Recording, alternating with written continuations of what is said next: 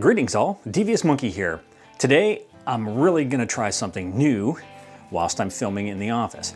A couple of things I had to change. One, my light. My main light there, the Neewer SL60, it was making me kind of blown out. That's strictly because of the fact that I can only move it so far away from me and still have it not blocked by the camera or anything else. And another reason why I took the softbox down is because it was smacking into the ceiling fan and that isn't gonna work. So I had to basically move it right behind the camera and right above the Ninja. So it was really blowing me out. I wasn't really paying attention to it. Thanks Yankee Cowboy for letting me know.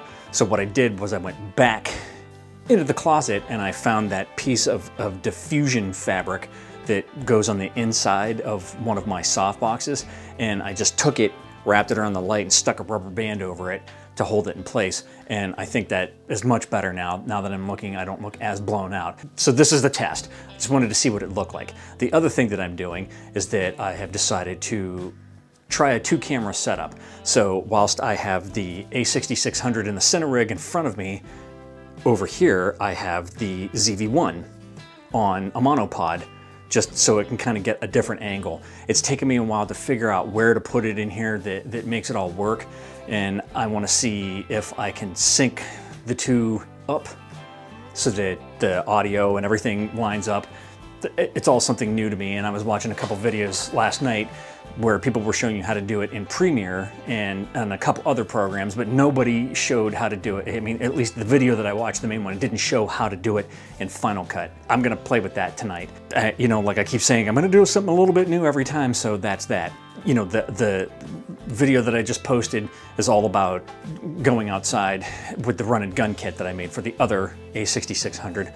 And, you know, I've convinced myself over this week since I got all the pieces together that it, it works really well and it's perfect for if I want to just take one camera with me. I can bring the handles and, and put those on with no problem and you don't even really need tools. Although having like a small little Allen wrench, like the one that comes with it, or the Allen wrench tool that Small Rig has, will be perfect. So I'm probably gonna get another one of those tools just so that I have one here in the studio and I can put one in my bag and take it with me. Now with the ZV-1 setup, how I've got this going so that I don't have all the stuff in here, because what was happening was that the ZV-1 was picking up all of the window and because it's not quite dark out yet, you can see the, the, you know, the blinds through the sheer black fabric and it wasn't working.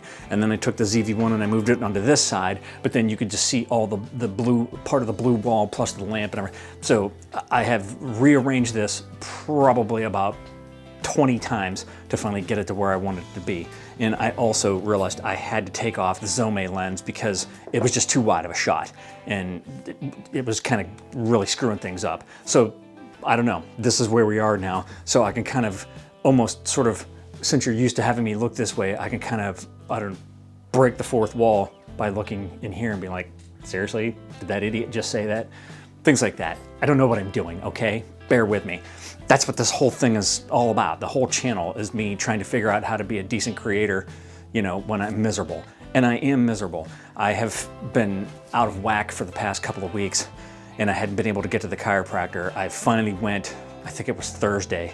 You know, I always say she released the demon when she finally is able to, to realign me and get me back in there. But at that point, the muscles have already been completely pulling with it out of whack. So it usually takes a couple of days for it to loosen back up and, and make me not as miserable because yesterday and today I was miserable. I mean, I've been waking up with a headache. I haven't been sleeping that well, just have a headache all the time. And to the point where this morning when I got up, the first thing I did was take ibuprofen before I even had coffee or my breakfast.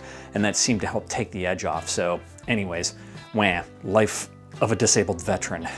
Really, that's all I wanted to do was to test these couple of things out. So I'm hoping that putting that little bit of extra diffusion on the light there. And also, I mean, I kind of feel like I look almost a little red. I can't tell. It's kind of tough because I have the focus stuff all red. My eyes are all demony, which I wish they looked like this all the time. That diffusion should help. I changed the, the, the temperature from cold to warm, or cool to warm, just to see if I could get rid of those, those blowout spots. And I think it's looking pretty good. Let me know if you think it looks good because on the monitor there it looks good and on the ZV-1 monitor I look decent too. Again, I just wanted to, to, play around with the lighting and I wanted to play around with the two camera setup and see how that looks and to see if I am even remotely capable of syncing the two footages and switching back and forth without sitting here for five hours trying to edit because I don't want to do that. It's fairly early right now. It's only 5.30. My wife just got home from work. I usually leave her alone for at least an hour so she can unwind and she doesn't have any sound, meaning me, with the TVs on and everything. So I'm going to take this footage off and I'm going to play around with it for a little bit and see what's going on.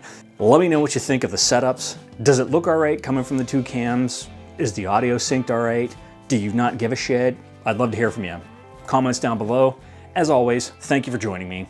Like, subscribe, and all that shit. And remember, kids, forward and up.